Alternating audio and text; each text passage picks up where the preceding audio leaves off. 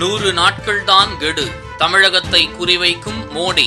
டெல்லியிலிருந்து வெளியான தகவல். நாடு முழுவதும் மக்களவை தேர்தல் விறுவிறுப்பாக நடைபெற்று வரும் நிலையில் தமிழகத்தில் கடந்த மாதம் முடிவடைந்தது. இன்னும் பத்து நாட்களில் தேர்தல் முடிவுகள் வெளியாக உள்ள நிலையில் தமிழக அரசியலை உலுக்கும் சம்பவம் குறித்து முக்கிய தகவலை வெளியிட்டுள்ளார் மூத்த பத்திரிகையாளர் சேகர் ஐயர். நாட்டில் ஆறு கட்டமாக தேர்தல் முடிவடைந்த நிலையில் மீண்டும் மூன்றாவது முறையாக பிரதமர் மோடிதான் பதவியேற்பார் என்று கருத்து கணிப்புகள் வெளியாகி வந்தது.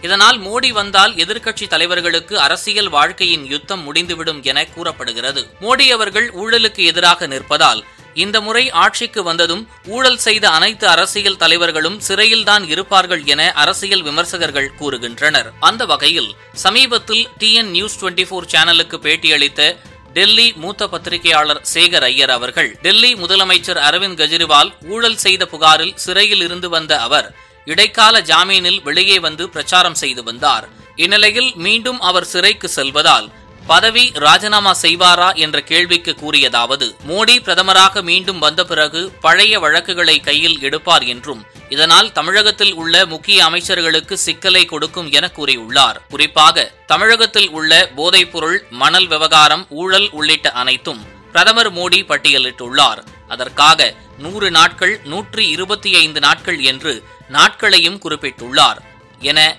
சேகர் ஐயர் கூறியுள்ளார். இதனால் தமிழக அரசியலில் ஜூன் நான்காம் தேதிக்கு பிறகு பல மாற்றத்தை எதிர்பார்க்கலாம் என கூறப்படுகிறது. தடவை தேர்தல்ல பிரச்சாரத்துல பாத்தீங்கன்னா சுனித் இவன் நம்ம அரவிந்த் கெஜ்ரிவால் தன் மனைவியை முன்னாடி வச்சுட்டு தேர்தல் பிரச்சாரம் பண்றாரு. அதாவது எனக்கு பிறகு சுனிதா அப்படின்னு அவர் சொல்லிட்டு பிரச்சாரம் பண்றாரு. இதெல்லாம் கட்சிக்குள்ள ரொம்ப புகைச்சிட்டு இருக்கு. இவர் ஒன்னாம் தேதி ஜெயிலுக்குள்ள திரும்பி போனோம் ஏன்னா இன்ட்ரீம் பெயில்ல வந்தாரு. அதுக்கு பிறகு அவருக்கு ரிலீஃப் கிடைக்கல வச்சுக்க கட்சிக்குள்ளேயே பல விஷயங்கள் ஆக போகுது. அண்ட் தான் முடிவு பண்ணிட்டாரு தான் முடிவு பண்ணிட்டாரு ராஜினாமா பண்ண மாட்டாரு. முதல்வரா ஜெயிலே இருப்பேங்கிறாரு. இவ இந்த மாதிரி தலைவர்கள்லாம் நாட்டுக்கு என்ன செய்ய முடியுங்க? தன் சொந்த பிரச்சனையே இப்படி மாட்டின்னு இருக்காரு. அண்ட் கட்சிக்குள்ள என்ன தனக்கு அப்புறம் தன் இது லாலு பிரசாத் யாதவ் எப்படி தன். அந்த அனிமல் ஃபாடர் ஸ்கேம்ல ஜெயிலுக்கு போகும்போது தன் ராபிடி தேவி உட்காந்து வச்சாரு. ராபிடிக்கு அதுக்கு முன்னாடி எந்த அனுபவம் கிடையாது.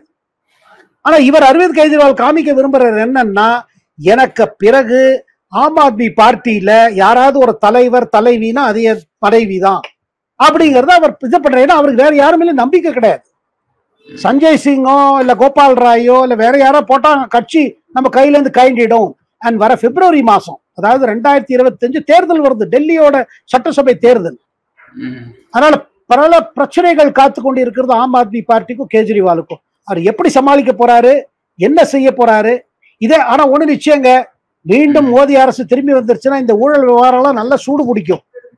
ம். அதுல பெரிய அவருக்கு ரிலீஃப் கிடைக்கலன்னா அவருக்கு பிரச்சனை அதிகமாயிட்டே போகும். அதுல முக்கிய பங்கா தமிழ்நாட்டிலேயே செலுத்துமா சார் அந்த ஊழல் விவகாரத்துல. இல்ல கட்டாயமாக பிரதமரே சொல்லியிருக்காரு. தமிழ்நாடு வந்த பொழுது சொன்னாரு பிரச்சாரத்தையும் சொன்னாரு. ஊழல் மேல நடவடிக்கை தொடரும். இதை நான் இது பண்ண மாட்டேன். எனக்கு கிடைச்சிருக்கிற மேண்டேட் அது. இதை நான் விட முடியாதுன்னு சொல்லியிருக்காங்க. அதனால இது பாருங்க போக போக அடுத்த நூறு நாள் பிரதமர் சொல்லிட்டே இருக்காரு. பல பெரிய முடிவுகள் எடுக்கப்படும்.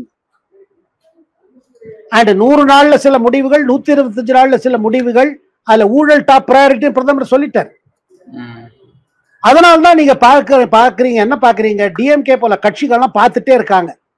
பிரதமர் ஏதாவது ஸ்டேட்மெண்ட் இப்ப நீங்க சொன்னீங்க பாருங்க அந்த பூரி சம்பவத்தை வச்சுன்னு தமிழ்நாட்டுக்கு சாவி போயிருக்கிறத வச்சுன்னு ஒரு பெருசு பண்றாங்க.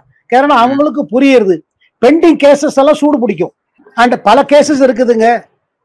அது போதைப் பொருள்லேருந்து ஆரம்பிச்சு pending ED matter CBI matter IT matter நிறைய இருக்கு.